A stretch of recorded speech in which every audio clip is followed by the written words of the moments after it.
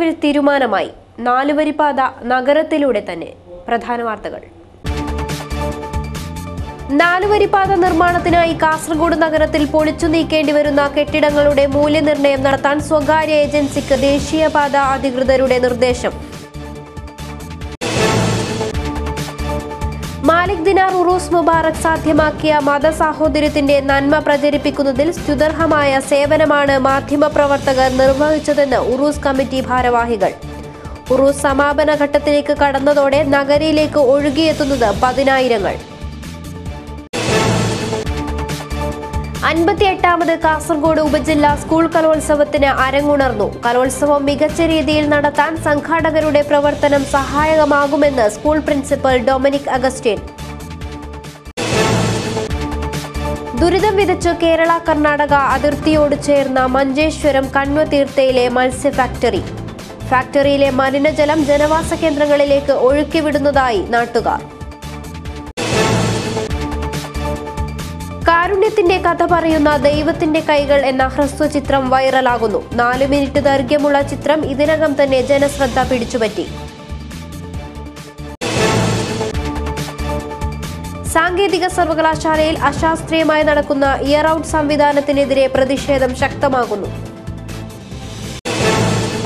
വിശദമായ വാർത്തകളിലേക്ക് നാലുവരിപ്പാത നിർമ്മാണത്തിനായി കാസർഗോഡ് നഗരത്തിൽ പൊളിച്ചു നീക്കേണ്ടി വരുന്ന കെട്ടിടങ്ങളുടെ മൂല്യനിർണയം നടത്താൻ സ്വകാര്യ ഏജൻസിക്ക് ദേശീയപാത അധികൃതരുടെ നിർദ്ദേശം.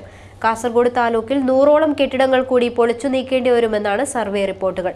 കറന്തക്കാട് മുതൽ അണങ്കൂർ വരെ ഒന്നര കിലോമീറ്റർ നീളത്തിൽ ഫ്ലൈ ഓവർ നിർമ്മിക്കുമ്പോൾ ഈ ഭാഗത്തെ നിരവധി കെട്ടിടങ്ങൾ പൊളിച്ചു നീക്കേണ്ടി വരുമെന്ന് കണ്ടെത്തിയിട്ടുണ്ട്. നേരത്തെ കാസർഗോഡ് താലൂക്കിൽ അഞ്ഞൂറ്റി രണ്ട് കെട്ടിടങ്ങളുടെ മൂല്യനിർണയം നടത്താനാണ് നിർദ്ദേശിച്ചിരുന്നത്.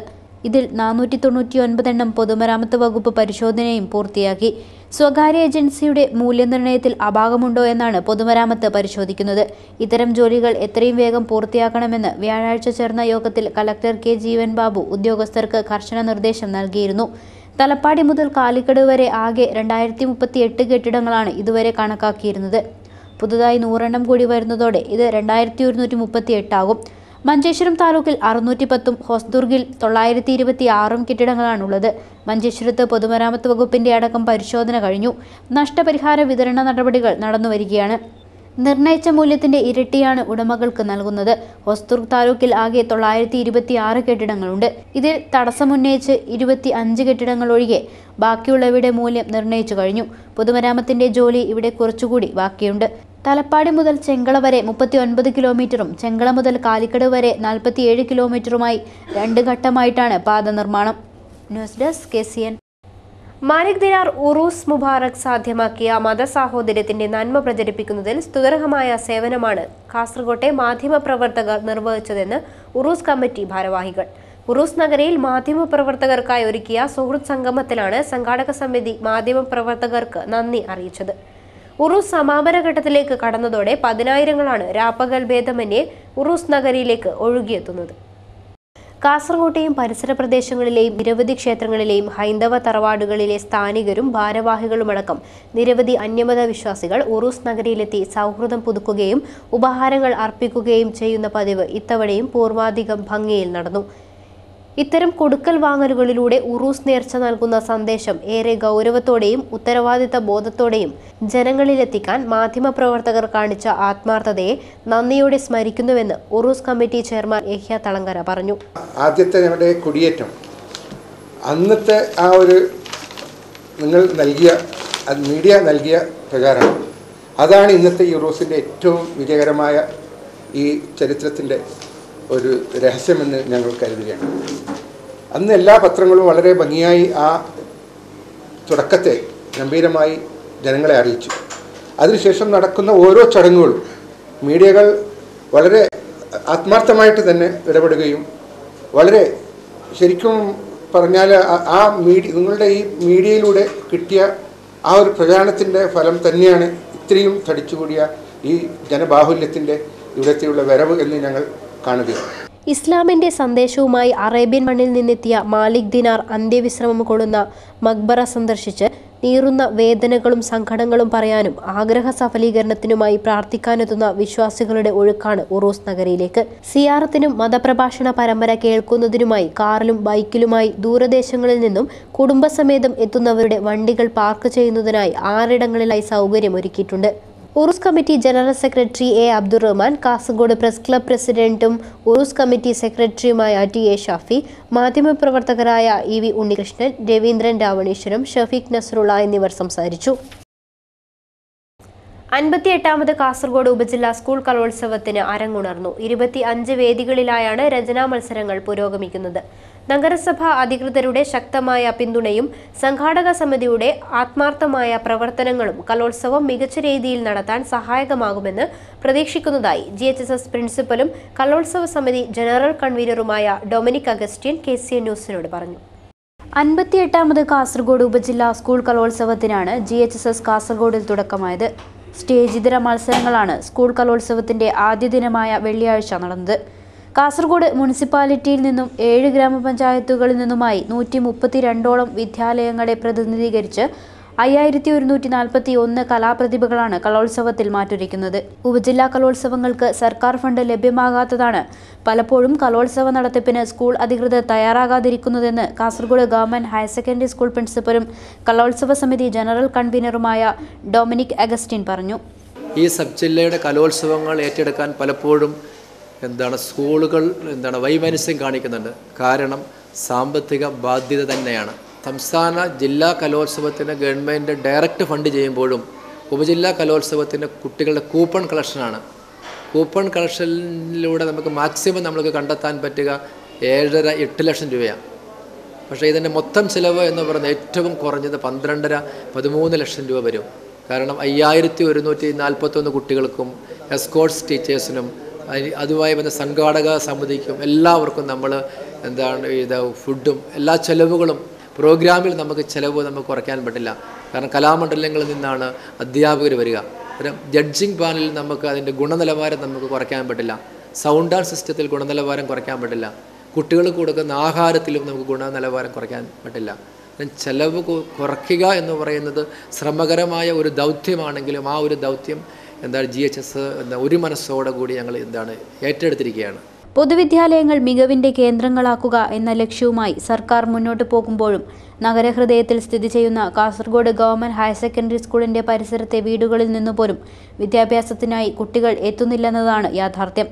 അതുകൊണ്ട് തന്നെ തൊട്ടടുത്തുള്ള സ്കൂളുകളിൽ നിന്നുള്ള സഹകരണം എന്നത് അധികൃതർക്ക് പ്രതീക്ഷിക്കാൻ കഴിയാത്തതാവുന്നു. News desk K Kerala Karnataka അതിർത്തിയോട് ചേർന്നുള്ള മഞ്ചേശ്വരം ഗ്രാമപഞ്ചായത്തിലെ ഒന്നാം വാർഡായ കണ്വതീർത്ത പരിസരത്ത് പ്രവർത്തിക്കുന്ന മത്സ്യ ഫാക്ടറിയിലെ മലിനജലം ജനവാസ കേന്ദ്രത്തിലേക്ക് ഒഴുക്കിവിടുന്നതായി പരാതി. കുടിവെള്ളവും മലിനമായതോടെ പ്രദേശത്തെ നാനൂറോളം കുടുംബങ്ങൾ രോഗഭീതിയിൽ. മാലിന്യ പ്ലാന്റ് നിർമ്മിച്ചില്ലെങ്കിൽ ഫാക്ടറി തുറന്നു പ്രവർത്തിക്കാൻ അനുവദിക്കില്ലെന്ന് നാട്ടുകാർ. കഴിഞ്ഞ വർഷം സെപ്റ്റംബറിലാണ് ഫാക്ടറി പ്രവർത്തനം ആരംഭിച്ചത്. ഫാക്ടറിക്ക് അനുമതി നൽകിയ അന്നു മുതൽ നാട്ടുകാർ ഇതിനെതിരെ പ്രതിഷേധവുമായി രംഗത്തുണ്ട്. മാലിന്യ സംസ്കരണത്തിന് യാതൊരുവിധ സംവിധാനവും ഏർപ്പെടുത്താതെയാണ് ഫാക്ടറിക്ക് അനുമതി നൽകിയതെന്നാണ് നാട്ടുകാർ പറയുന്നത്. ഇതോടെ പകർച്ചവ്യാധികൾ ഈ മേഖലയിൽ പകർന്നു പിടിക്കുകയാണ്. നിത്യേന അൻപതോളം ലോഡ് മത്സ്യങ്ങളാണ് ഇവിടെ സംസ്കരിക്കുന്നത്. ഇതിന്റെ അവശിഷ്ടങ്ങളും മലിനജലവും പ്രദേശത്തേക്ക് ഒഴുക്കിവിടുകയാണ്. സമീപത്തെ കിണറുകളിലേക്കാണ് മലിനജലം കൂടുതലായി ഒഴുകുന്നത്. കുറച്ചു ദിവസം മുമ്പ് കണ്വതീർത്ത ഫാക്ടറിക്ക് മുന്നിൽ നാട്ടുകാർ പ്രതിഷേധ സമരം നടത്തിയിരുന്നു. ആരോഗ്യവകുപ്പും മലിനീകരണ നിയന്ത്രണ ബോർഡും പ്രശ്നത്തിൽ ഇടപെടണമെന്നും നാട്ടുകാരുടെ ജീവൻ അപകടാവസ്ഥയിലാണെന്നും പ്രദേശവാസികൾ പറയുന്നു. ഇവിടെ ഇപ്പോൾ ഒരു ഫാക്ടറി തുടങ്ങി തുടങ്ങിയ ശേഷം ഇവിടത്തിന്റെ കിണറിന്റെ വെള്ളമെല്ലാം ബുദ്ധിമുട്ടായിട്ട് അതിനെ ആരും യൂസ് ആക്കാനേ ചെയ്യുന്നില്ല. അതിന്റെ ഭയങ്കര മണ മണക്കുണ്ട് ഭയങ്കര ഇതുണ്ട്. അതിന് യൂസ് ഞങ്ങൾ അതിന്റെ മുമ്പേ ഒരു കൊല്ലത്തിന് മുമ്പേ ഫാക്ടറി സ്റ്റാർട്ട് ആകുമ്പോൾ അതിലേക്ക് കംപ്ലൈന്റ് ഞങ്ങൾ കൊടുത്തു എല്ലായിടത്തിനും ഇത് കൊടുത്തു പഞ്ചായത്തിൽ കൊടുത്തു കളക്ടർ കൊടുത്തു എല്ലാം കൊടുത്തു. അതിന് അതിൽ ഒരു നടപടി ശരിയായ നടപടി എടുത്തിട്ടില്ല. ഇതിപ്പോൾ ഈ ഇവിടെ ഭയങ്കര ബുദ്ധിമുട്ടായിട്ടുണ്ട്. ഇവിടെ ക്ലീൻ ഇപ്പോൾ ഞങ്ങൾ പറയുന്നത് ക്ലീൻ കേരളമാണ്. ക്ലീൻ കേരള പറയുന്നതിന് ഒരു ഒരു കാര്യം കൂടെ നടക്കുന്നില്ല. പതിനഞ്ച് ദിവസത്തിനുള്ളിൽ മാലിന്യ നിർമ്മാർജനത്തിന് നടപടി സ്വീകരിക്കാൻ മത്സ്യ ഫാക്ടറി അധികൃതർ നോട്ടീസ് നൽകിയതായി മഞ്ചേശ്വരം പഞ്ചായത്ത് പ്രസിഡന്റ് അബ്ദുൽ അസീസ് ഹാജി പറഞ്ഞു. അംഗീകാരം എല്ലാ ഒഫീഷ്യൽ പേപ്പറുടെ കാര്യങ്ങളുടെ അടിസ്ഥാനത്തിലാണ് കൊടുത്തത്. ഇപ്പോൾ ചില വീഴ്ചകളവിടെ കണ്ടതിന്റെ അടിസ്ഥാനത്തിൽ അവർക്ക് അതിന്റെതായ കർശന താക്കീത്ത് നൽകുകയും ആ ഇതിന് അവർ രണ്ടാഴ്ചത്തെ സമയം ചോദിക്കുകയും രണ്ടാഴ്ചക്കുള്ളിൽ എല്ലാം ക്ലിയർ ചെയ്ത് തരാമെന്ന് പറഞ്ഞിട്ടുണ്ട്. News bureau Manjeshwaram. കാരുണ്യത്തിന്റെ കഥ പറയുന്ന ദൈവത്തിന്റെ കൈകൾ എന്ന ഹ്രസ്വചിത്രം വൈറലാകുന്നു. അസുഖം പിടിപെട്ട് കിടപ്പിലായ സഹപാഠിയെ സഹായിക്കാൻ ദൈവവേഷം കെട്ടി പണം സ്വരൂപിച്ച കുട്ടികളുടെ കഥയാണ് ചിത്രത്തിന്റെ ഇതിവൃത്തം. നാല് മിനിറ്റ് ദൈർഘ്യമുള്ള ചിത്രം യൂട്യൂബിലും ഫേസ്ബുക്കിലും ഇതിനകം തന്നെ വൈറലായി കഴിഞ്ഞു.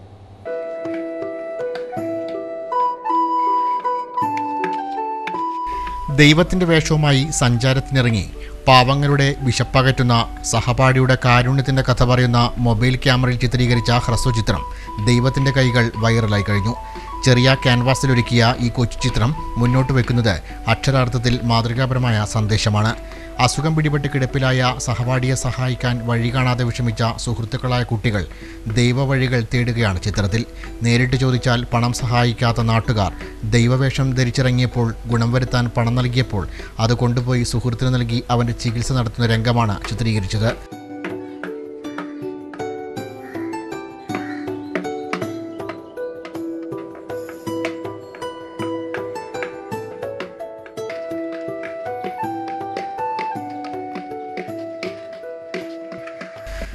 നടക്കുന്ന കഷ്ടപ്പെടുന്ന മനുഷ്യർക്ക് തുണയേകുന്ന വലിയ സന്ദേശമാണ് ചിത്രം.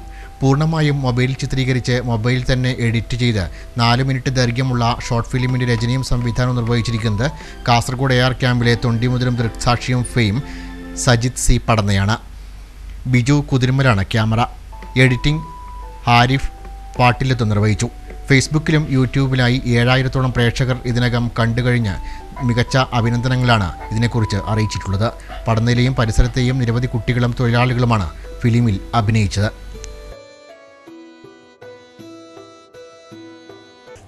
സാങ്കേതിക സർവകലാശാലയിൽ അശാസ്ത്രീയമായി നടക്കുന്ന ഇയർ ഔട്ട് സംവിധാനത്തിനെതിരെ പ്രതിഷേധം ശക്തമാകുന്നു. കാഞ്ഞങ്ങാട് നിത്യാനന്ദ എഞ്ചിനീയറിംഗ് കോളേജിൽ വിദ്യാർത്ഥികൾ വി സിയുടെ കോലം കത്തിച്ചു. സാങ്കേതിക സർവകലാശാലയിൽ അശാസ്ത്രീയമായി നടക്കുന്ന ഇയറോട്ട് സംവിധാനം അവസാനിപ്പിക്കണമെന്നാവശ്യപ്പെട്ടാണ് വിദ്യാർത്ഥികൾ പ്രതിഷേധവുമായി രംഗത്തു വന്നത്.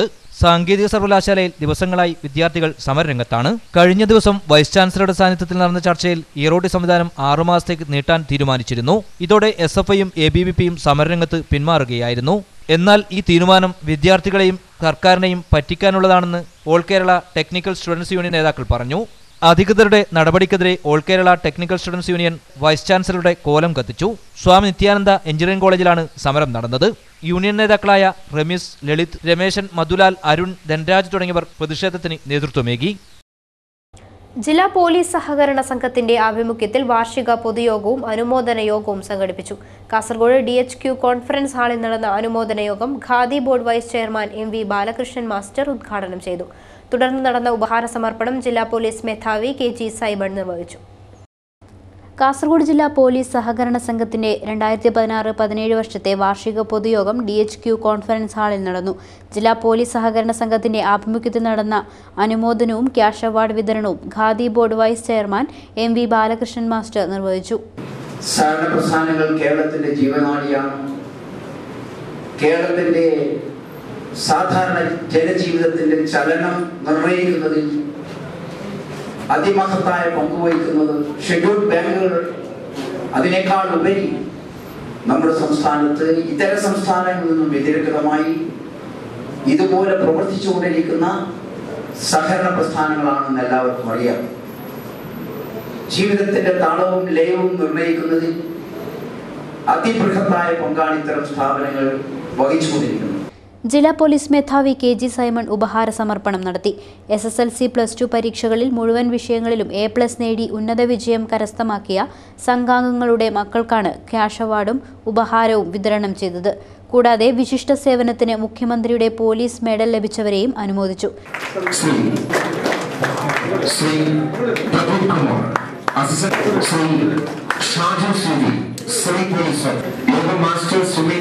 ശ്രീ കാസർഗോഡ് മുതൽ ഹിമാലയ യോഗത്തിൽ K Damodaran M V Sukumaran Harishchandra Nayak K K Premkumar P V Satheesan A P Suresh തുടങ്ങിയവർ സംബന്ധിച്ചു. News desk K C N. Kasaragod വികസന പാക്കേജിൽ പിലിക്കോട് ഗവൺമെന്റ് ഹയർ സെക്കൻഡറി സ്കൂളിന് hi-tech class room. P Karunakaran M P ഉദ്ഘാടനം ചെയ്തു. Pilicode C Krishnan Nair സ്മാരക government higher secondary സ്കൂളിൽ കാസർഗോഡ് വികസന പാക്കേജിൽ ഉൾപ്പെടുത്തിയാണ് രണ്ട് ക്ലാസ് മുറികൾ നിർമ്മിച്ചിരിക്കുന്നത്. സ്കൂളിലെ ഹയർ സെക്കൻഡറി ലാബ് ജില്ലാ പഞ്ചായത്ത് പ്രിസം പദ്ധതിയിലും ഉൾപ്പെടുത്തി നിർമ്മിച്ചു. പൊതുവിദ്യാഭ്യാസത്തിന്റെ പ്രത്യേകത നിങ്ങൾക്ക് എല്ലാ സൗകര്യവും ലഭിക്കുന്നുണ്ട് ഇവിടെ ഇപ്പോൾ എല്ലാ കുട്ടികൾക്കും എത്തിച്ചേരാൻ കഴിയില്ല. കാരണം സബ് ജില്ലാ കലോത്സവത്തിന്റെ റിഹേഴ്സൽ നടന്നുകൊണ്ടിരിക്കുകയാണ്. പഴയ നമ്മുടെ പൊതുവിദ്യാഭ്യാസത്തിന്റെ പ്രത്യേകത. നമ്മുടെ കുട്ടികൾ പഠന വിഷയത്തിലും പാഠ്യേതര വിഷയങ്ങളിലും വലിയ നിലവാരം പുലർത്താൻ കഴിയുന്നവരാണ് അതിന്റെ അവാർഡുകളാണ് ഇവിടെ നിന്ന് ലഭിച്ചുകൊണ്ടിരിക്കുന്നത്. ക്ലാസ് മുറികളുടെ ഉദ്ഘാടനം പി കരുണാകരൻ എം പി നിർവഹിച്ചു. ജില്ലാ പഞ്ചായത്ത് അംഗം പി വി പത്മജ ലാബ് ഉദ്ഘാടനം ചെയ്തു. School P T A president P Sudhakaran അധ്യക്ഷത വഹിച്ചു. പൊതുമരാമത്ത് വകുപ്പ് executive engineer C Ramesh Chandran സാങ്കേതിക റിപ്പോർട്ട് നൽകി. സംസ്ഥാന അധ്യാപക അവാർഡ് ജേതാവ് കെ മനോജ് കുമാറിനെ ചടങ്ങിൽ അനുമോദിച്ചു. സ്കൂൾ പി ടി എയുടെ ഉപഹാരം മുൻ M L A K Kunhiraman സമ്മാനിച്ചു. ബ്ലോക്ക് പഞ്ചായത്ത് അംഗം A Krishnan higher secondary education ജില്ലാ coordinator K D Mathew ജനപ്രതിനിധികളായ K Damodaran V P Rajeevan T Omana school പ്രധാനാധ്യാപകൻ N Narayanan mother P T A president P Sheeja E Kunhiraman K Kunhikrishnan M V Narayanan P V Govindan P P Adiyodi K Manoj Kumar എന്നിവർ സംസാരിച്ചു. Principal P C Chandramohanan സ്വാഗതവും staff secretary T K Raveendran നന്ദിയും പറഞ്ഞു. കുടുംബശ്രീ ജില്ലാ മിഷന്റെ gender പദ്ധതിയുടെ ഭാഗമായി Parappa block പഞ്ചായത്തിൽ കൗൺസിലിംഗ് സെന്റർ പ്രവർത്തന ഉദ്ഘാടനം കഴിഞ്ഞ ദിവസം നടന്നു. Block vice president P V തങ്കമണിയുടെ അധ്യക്ഷതയിൽ block panchayat president P Rajan counselling സെന്ററിന്റെ ഉദ്ഘാടനം നിർവഹിച്ചു.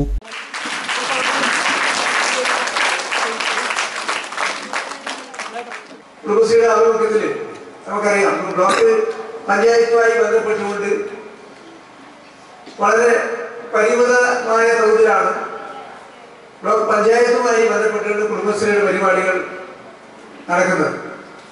എന്നാൽ നമ്മുടെ ബ്ലോക്ക് ഏഴ് ഗ്രാമപഞ്ചായത്തുകളിലും വളരെ നല്ല രീതിയിൽ ഒരുപക്ഷെ മികച്ച രീതിയിൽ തന്നെ നമ്മുടെ പരപ്പാ ബ്ലോക്കിന്റെ പരിധിയിലുള്ള ഏഴ് പഞ്ചായത്തിലും കുടുംബശ്രീ ആഭിമുഖ്യത്തിലുള്ള പരിപാടികളൊക്കെ വളരെ ഭംഗിയായി നടക്കുന്നുണ്ട്. കുടുംബശ്രീ ജില്ലാ mission assistant coordinator C Haridas പദ്ധതി വിശദീകരിച്ചു. V Sudhakaran V Balakrishnan P G Dev Latha Aravindan Radha Vijayan Karthyayani Usha Rajan തുടങ്ങിയവർ സംസാരിച്ചു. വി വി യശോദ സ്വാഗതവും ആരതി മേനോൻ നന്ദിയും പറഞ്ഞു. മുപ്പത്തിയാറാമത് Kerala state cadet judo championship കാഞ്ഞങ്ങാട്ട് വെച്ച് നടക്കും. പതിനൊന്ന് പന്ത്രണ്ട് തീയതികളിലായി അതിയാമ്പൂർ ചിന്മയ വിദ്യാലയത്തിൽ വെച്ചാണ് ചാമ്പ്യൻഷിപ്പ് നടക്കുന്നത്. മത്സരത്തിനുള്ള ഒരുക്കങ്ങൾ പൂർത്തിയായതായി ഭാരവാഹികൾ അറിയിച്ചു. Kerala state cadet judo championship പതിനൊന്ന് പന്ത്രണ്ട് തീയതികളിൽ കാഞ്ഞങ്ങാട് ചിന്മയ വിദ്യാലയത്തിൽ നടക്കും. പതിനാല് ജില്ലകളിൽ നിന്നായി മുന്നൂറ്റമ്പതോളം മത്സരാർത്ഥികൾ ചാമ്പ്യൻഷിപ്പിൽ പങ്കെടുക്കാനെത്തുമെന്ന് ഭാരവാഹികൾ വാർത്താ സമ്മേളനത്തിൽ പറഞ്ഞു. പൂർണമായിട്ടും എല്ലാ ജില്ലകളിലും പിന്നെ താരങ്ങളെ പങ്കെടുത്തുകൊണ്ട് ആദ്യമായിട്ടാണ് നമ്മുടെ ജില്ലയിൽ ഈ മത്സരം വെക്കുന്നത് ഇരുപത് വർഷം മുമ്പ് നടന്നിരുന്നു. അന്ന് എല്ലാ ജില്ലകളും പങ്കെടുത്തിരുന്നില്ല. പക്ഷേ പൂർണ സജ്ജമായ ഒരു മത്സരം ഈ പതിനൊന്ന് പന്ത്രണ്ട് തീയതികളിൽ ബഹുമാനപ്പെട്ട റവന്യൂ മന്ത്രി ചന്ദ്രേട്ടൻ മൂന്ന് മണിക്ക് ഉദ്ഘാടനം ചെയ്യുന്നത് പതിനാല് ജില്ലകളിൽ നിന്നും ഇതിൽ പാർട്ടിസിപ്പൻസ് വരുന്നുണ്ട്. ഏകദേശം മുന്നൂറ്റി അൻപതോളം ക്യാരക്ടറുകൾ ഈ മത്സരത്തിൽ മാറ്റിവെക്കും പതിനേഴിനും പതിനഞ്ചിനും ഇടയിൽ പ്രായമുള്ള കുട്ടികളാണ് മത്സരത്തിൽ പങ്കെടുക്കുന്നത്. പതിനൊന്നിന് വൈകിട്ട് മൂന്നിന് റവന്യൂ മന്ത്രി ഇ ചന്ദ്രശേഖരൻ മത്സരങ്ങൾ ഉദ്ഘാടനം ചെയ്യും. കാഞ്ഞങ്ങാട്ട് നടന്ന വാർത്താ സമ്മേളനത്തിൽ സംഘാടക സമിതി ഭാരവാഹികളായ doctor K G Pai M K Vinod Kumar Ajayakumar Nellikkad P V Balakrishnan Anilkumar Nellikkad Hassan master P Narayanan തുടങ്ങിയവർ പങ്കെടുത്തു.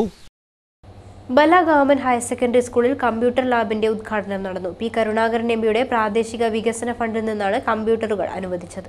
സ്കൂളിനെ മികവിന്റെ കേന്ദ്രമാക്കി മാറ്റുക എന്ന ലക്ഷ്യവുമായി മുന്നേറുന്ന ബെല്ല ഗവൺമെന്റ് ഹയർ സെക്കൻഡറി സ്കൂളിൽ നവീകരിച്ച കമ്പ്യൂട്ടർ ലാബ് പ്രവർത്തനം തുടങ്ങി. പി. കരുണാകരൻ നമ്പിയുടെ പ്രാദേശിക വികസന ഫണ്ടിൽ നിന്നും ആറ് കമ്പ്യൂട്ടറുകളാണ് അനുവദിച്ചത്. സ്കൂളിലെ പൂർവ വിദ്യാർത്ഥിയായ ഗിരീഷ് കുമാറിന്റെ സഹായത്തോടെ ശുദ്ധജല വിതരണ സംവിധാനവും ഒരുക്കിയിരുന്നു. സ്കൂളിൽ ഒരുക്കിയ computer lab P. Karunakaran Nambi ഉദ്ഘാടനം ചെയ്തു.